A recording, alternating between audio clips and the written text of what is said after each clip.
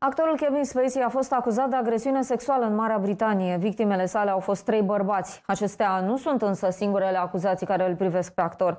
Teatrul londonez Old Vic a anunțat că 20 de bărbați s-au plâns de-a lungul timpului de comportamentul inadecvat al acestuia.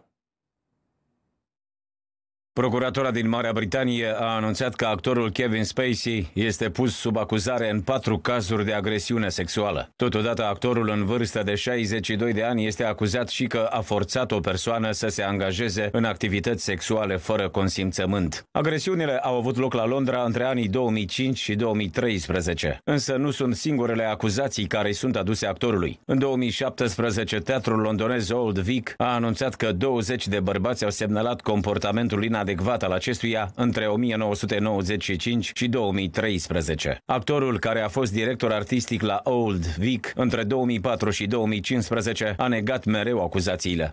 Kevin Spacey este cunoscut pentru rolul pe care l-a făcut în celebrul serial House of Cards. După acuzațiile apărute în spațiul public, actorul a pierdut mai multe contracte. Anul trecut, Spacey a fost nevoit să plătească 31 de milioane de dolari companiei care a produs serialul House of Cards, în care a interpretat rolul principal până la concedierea sa.